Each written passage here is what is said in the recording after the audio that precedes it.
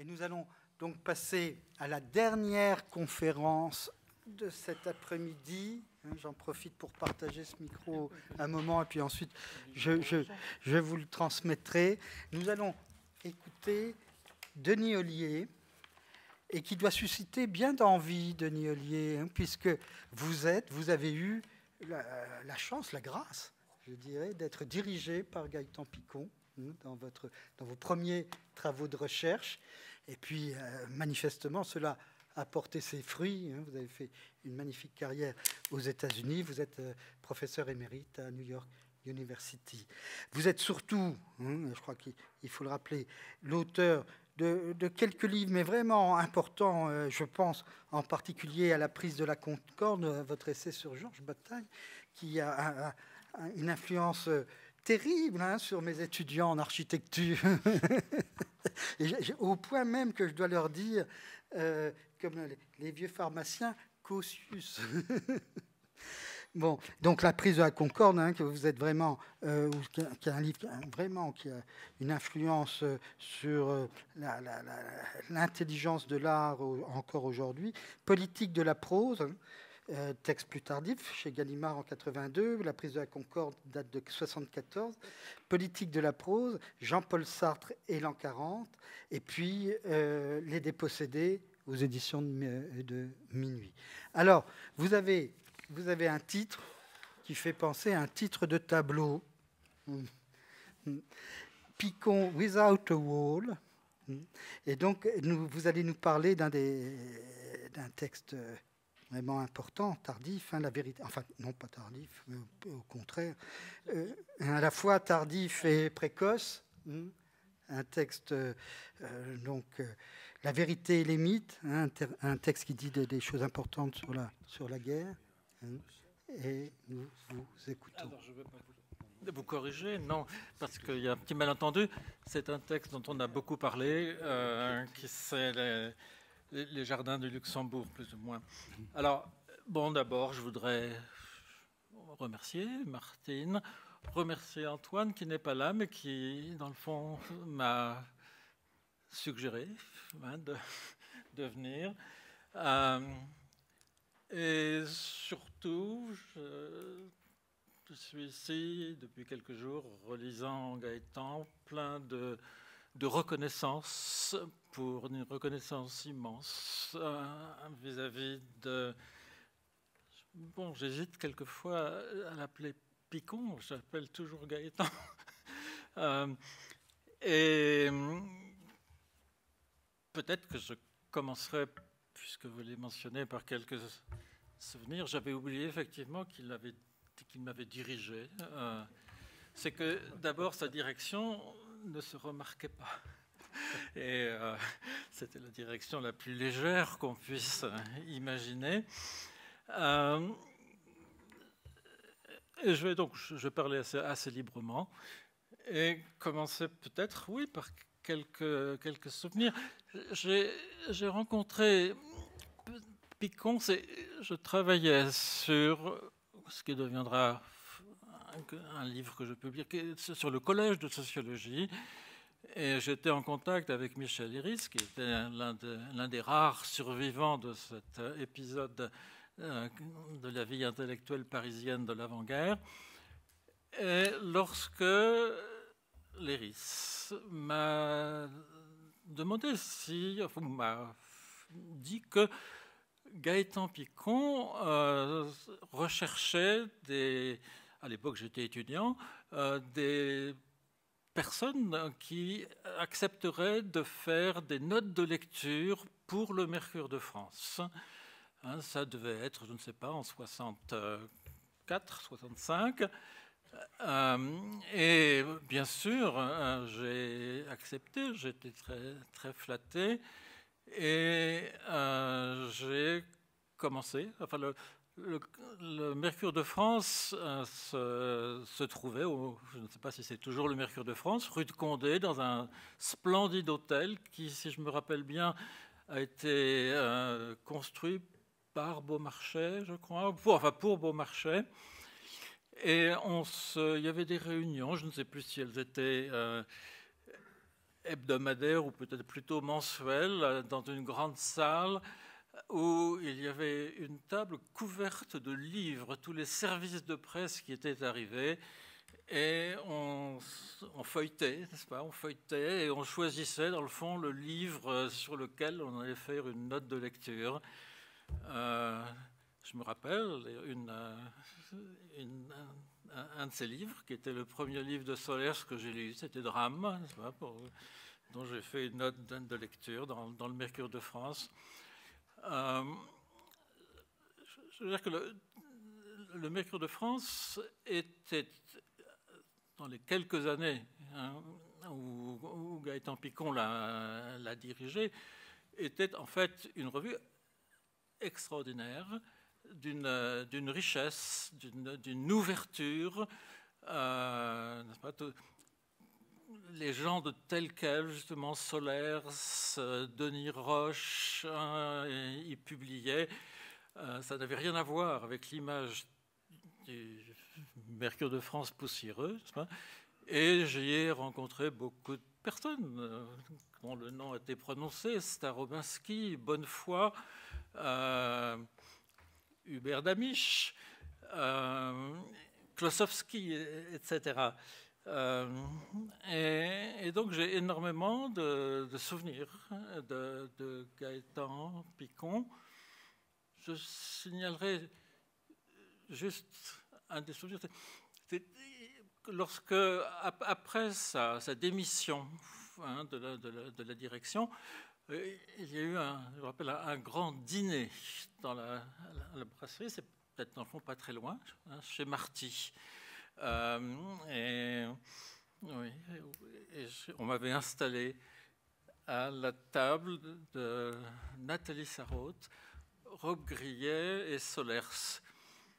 Et toute la conversation presque a, été consacrée au fait que Maurice Roche, qui venait de publier son livre Compact, je ne sais pas si on connaît ce livre encore aujourd'hui, euh, publié par tel quel, euh, et Solers voulait absolument qu'il ait un prix littéraire et tout le dîner été une, une opération pour essayer d'obtenir, je ne sais plus quel prix, pour pour Maurice Roche. Euh, bon, alors, en relisant beaucoup de textes de, Picon ces, ces, dernières semaines, j'ai été frappé par deux choses. À l'époque, au cours de cette année, j'ai commencé, à collaborer à la publication avec Tadek Klosowski des œuvres complètes de bataille. Euh, et plusieurs fois, en lisant des textes de Picon, Picon répète again and again, comme on dit. Euh, Il y a deux auteurs que je ne supporte pas, c'est Bataille et Artaud. Et, et je, alors, je travaillais sur l'édition des œuvres complètes de bataille et, c'était pour moi une découverte. Et j'avais en particulier découvert, enfin, lu pour la première fois des textes inédits, euh, des textes fantastiques mais extrêmement pornographiques. Et j'en avais parlé à Picon qui était mais, mais donnez-le-moi. Et effectivement, ce texte a paru dans l'éphémère. Euh, et j'ai, dans le fond, une seconde remarque un peu dans ce sens-là. Euh, on a parlé du, panorama des idées contemporaines, hein, qui est un livre que, Picon a, dirigé. Hein. il, n'est pas le seul auteur, il a invité différents auteurs. Et comme l'autre panorama, le panorama de la nouvelle littérature française, euh, qui, se vendait bien, il a fallu le, rééditer, euh, le mettre à jour. Et cette euh, remise à jour, je pense que, je pense que la, seconde édition a paru comme ça vers les années 68-69, il fallait que ce livre, euh, disons, inscrive les tendance récente hein, de la pensée, de la réflexion, c'est-à-dire toutes les choses auxquelles Gaëtan Picon était devenu complètement allergique.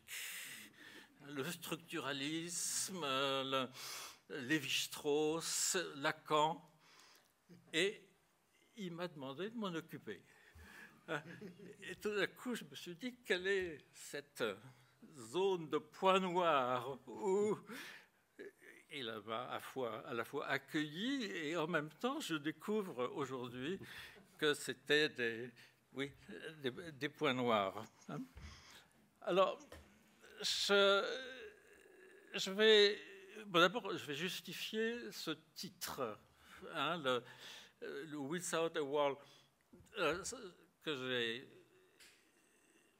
Ah, j'en ai eu enfin, j'y ai pas réfléchi, mais euh, vous savez sans doute que la traduction du musée imaginaire en anglais, le titre c'est The Museum Without a Wall, hein, le, musée imaginaire dont on a beaucoup parlé et qu'on a essayé de définir. Hein, en, anglais, c'est tout simplement un musée sans mur. Et, et, je, vais citer quelques textes de, Picon où précisément la question du, rapport entre le musée et le mur, entre l'œuvre euh, picturale et le mur, est très riche, très importante et même peut-être essentielle. Euh, alors, là encore, je vais utiliser une anecdote hein, pour le justifier. Une anecdote à laquelle l'Éris euh, est mêlé, et moi aussi d'ailleurs, du moins je crois, c'est mon hypothèse. Euh, ces années 67-68 bon, étaient des, années extrêmement agitées, mouvementées, euh, et il y avait en particulier un mythe, euh, une sorte de culte euh, cubain hein, dans, la culture française. Au cours de l'été 67, le Salon de mai hein, a été à une seconde édition.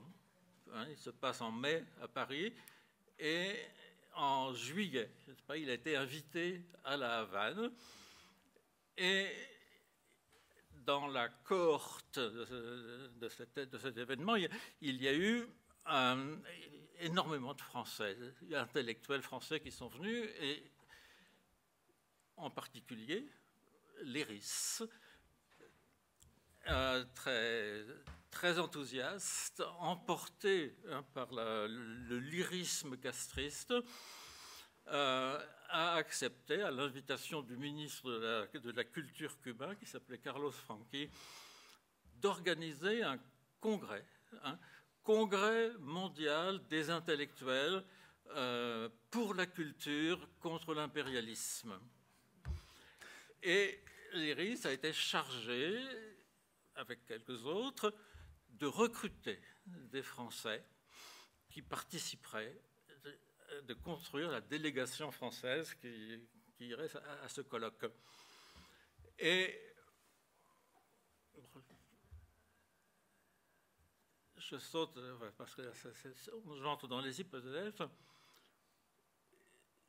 Je suis allé à ce colloque, j'ai été invité à ce colloque, j'ai été, mais j'ai reçu l'invitation de l'ambassade de Cuba à peine une semaine avant le départ. Et en relisant Les Jardins du Luxembourg, je me suis. Bon, qui est un texte dont on a beaucoup parlé.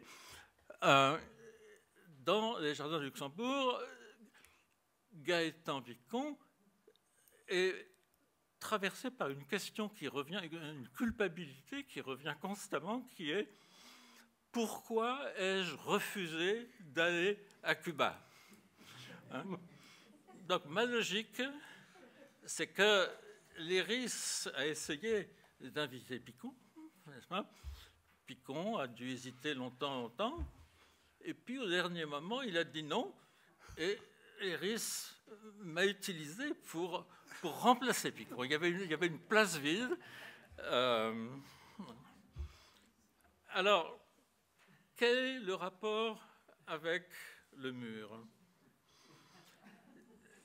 C'est que le grand événement du, salon de mai à Havane, donc pendant l'été 67, ça a été une nuit au cours de laquelle,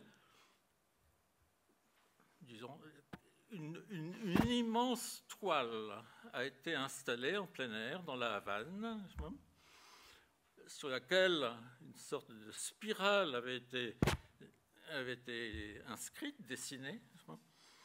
Et chaque participant à, ce, à cet événement euh, avait une case sur laquelle il y avait beaucoup de peintres, il y avait des artistes, euh, Léris a écrit un mot, et, et il y a. Le, je crois que le titre qu'on lui donne généralement, c'est Cuba Collectiva. Euh, et le, disons, cette image a été utilisée hein, comme un sigle de l'ouverture culturelle du, régime castriste. Et la seule allusion que j'ai trouvée chez Picon euh, à, ça, c'est dans Admirable tremblement du temps, à la fin, je ne sais pas si je vais retrouver la citation, ce que je regardais, c'est un peu... Mais dans tous les cas, Picon mentionne. Alors, dans quel contexte? Je reviens à la manière, au désenchantement de Picon à l'égard du structuralisme, hein, de tous les, la mode structuralisme, l'idéologie structuraliste. Euh, et d'abord, il y, a un mot que je voudrais utiliser qui a, qui a circulé c'est le mot personnel. Picon désirait avoir une écriture personnelle. Il a mis longtemps, n'est-ce pas, avant d'écrire des textes personnels. Le mot personnel est un mot qui revient constamment. Hein, et, euh, on a parlé de divers, disons, inspiration théorique du jeune Picon, il y en a une très importante hein, qui est Mounier, hein, le personnalisme de Mounier. Picon a grandi dans une atmosphère intellectuelle où Mounier était sans doute aussi important que Malraux. Hein. et le concept de personne est un concept qui est absolument essentiel même ce n'est pas un concept, l'expérience personnelle est absolument essentielle dans toute l'œuvre de, de, Picon. Et bon, si, si, Picon a euh, réagi négativement au thème et au modèle du structuralisme, c'est que mais peut-être à, deux points. Le premier, c'est que il y a toute une avant-garde qui cultive la production collective. Hein. Euh, Antoine, ce matin, euh, parlait du refus par Picon du motif de la mort de l'auteur. Euh, un des aspects de la mort de l'auteur, c'est le remplacement de l'auteur personnel par le groupe. Hein. Par ailleurs, un des centres de la réflexion et, du thème de la mort de l'auteur chez, Barthes, par exemple, est lié aux travaux des linguistes comme, comme qui sépare complètement la catégorie grammaticale du pronom personnel et le concept psychologique de personne. Je, euh, je c'est ce que Benveniste appelle un signe vide, alors qu'au contraire, le concept de personnalité devrait être lié à une expérience de plénitude. Euh, et donc, là, il est très clair que l'allergie de, de, Picon à l'égard de la thématique structuraliste est liée au fait qu'il n'arrive pas à se détacher hein, de cette idéologie euh, personnaliste des, années 30 et 40. Or, alors je vais faire encore une, petite parenthèse hein, à votre santé.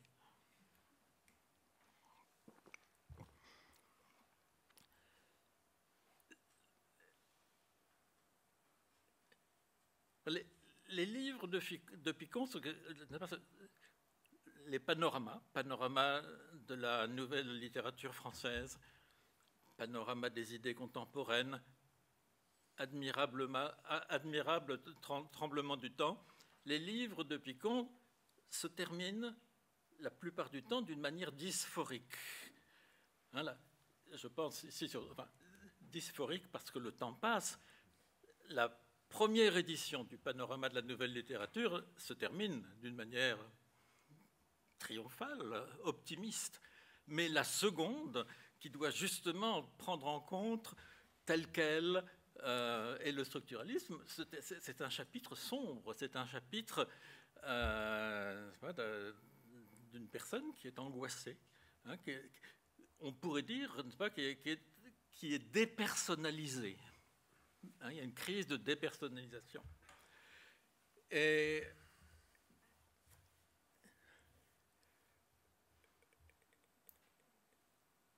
alors, ce qui est très intéressant dans Admirable, tremblement du temps, c'est qu'en fait, il y a deux conclusions.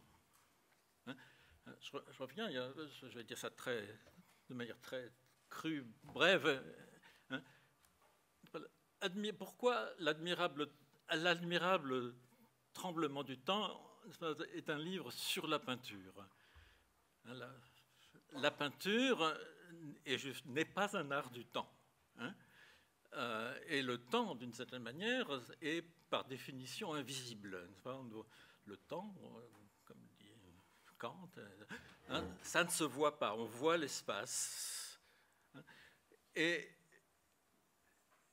et donc le tremblement du temps dans, la peinture, c'est ce, que la, peinture fait. Alors, ce que la conclusion hein, du livre, il y, a, deux conclusions du livre de, de Picon.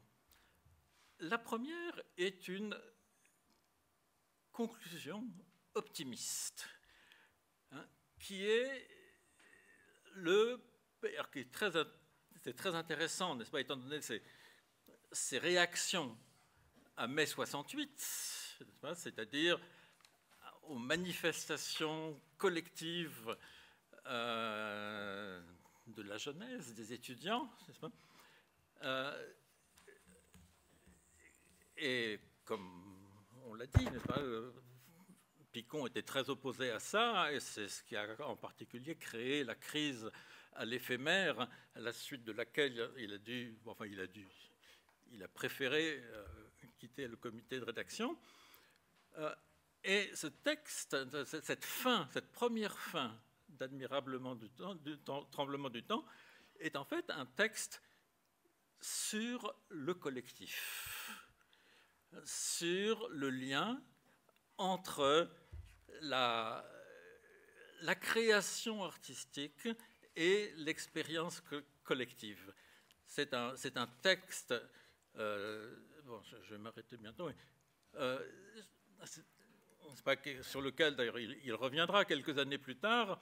Pas, Gaëtan Picon enseignait à l'école des hautes études, et en 69-70, le cours qu'il a fait, c'était un cours basé sur Michelet et sur un livre que Michelet avait publié, enfin sur, qui est le texte d'un cours que Michelet avait donné au Collège de France en 1848, c'est-à-dire au moment de la Révolution.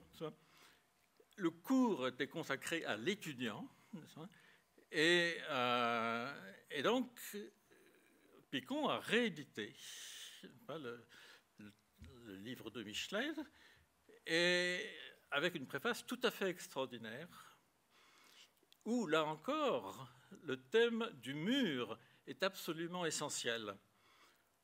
Je vais pas... Toute une partie du cours de, Michelet est consacrée à Géricault, le peintre Géricault, qui est mort très jeune. Hein, et Michelet imagine la révolution de 48, au cours de laquelle euh, aurait couvert les murs de Paris de peinture, hein, en particulier le, radeau de la Méduse, l'effondrement de la monarchie de Juillet, aurait été partout sur les murs. Il y a on oublie souvent, dans, ce qu'on a dit euh, aujourd'hui, pas il y a cet aspect euh, chez, chez, Picon qui, n'est pas simplement le désenchantement. Hein. il y a un rêve d'unanimisme et de, de participation collective liée qui associe le politique et le social, le, politique et l'artistique. Hein. Mais hein, il y a une seconde conclusion, hein, admirablement, admirable tremblement du temps, et on en parlait tout à l'heure, n'est-ce pas, qui est justement une peinture qui ne tremble plus. Et ici, n'est-ce pas, ce n'est plus la version positive de, disons, de la mort de l'auteur, c'est-à-dire la, personnalité collective hein, s'exprimant dans, les fresques murales, hein, mais c'est justement la, la, peinture de Vasarely. Hein, c'est une peinture vide, une peinture euh, schizophrénique, euh, une peinture complètement dépersonnalisée. Bon, écoutez, alors. Je me oui. Merci. Je vous en prie. Merci.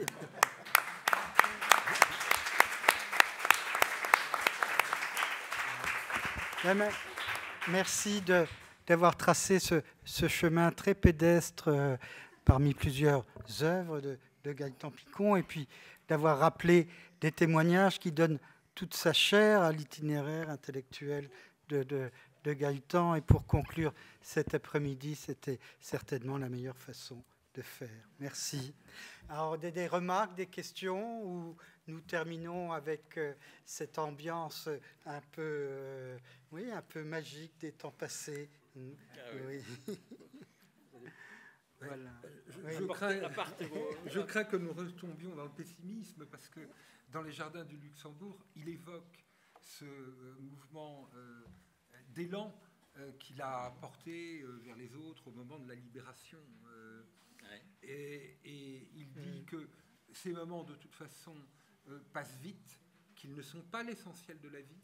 Et il sait que le vrai travail ne se fait pas comme ça dans la fête, d'une part, et d'autre part, en mai 68 précisément, à l'époque de Vasarely, il n'est pas à la fête. Eh oui, oui, oui. oui, oui.